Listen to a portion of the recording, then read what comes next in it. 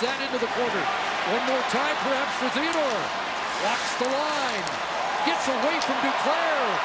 Walking in. Scores!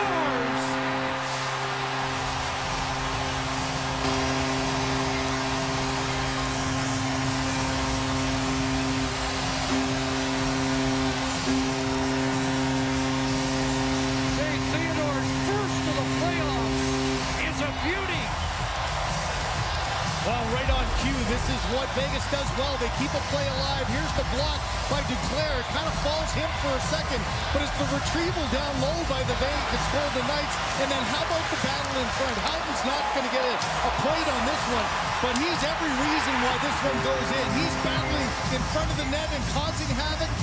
Theodore with his head up buys himself a little time, and that's just a wrist shot that Bobrovsky never even sees. It's Howden in front battling with Mahura that makes that goal possible. And there's your boxing match. You know, you got a different type of animal that you're dealing with. Carolina liked to play a little bit of an offense in zone time, but they didn't have the big bodies that they that the Vegas Golden Knights does. And on that line, it just going to the front of the net is everything. And here's the battle from side to side. Watch Bobrovsky. He loses sight of the puck right here.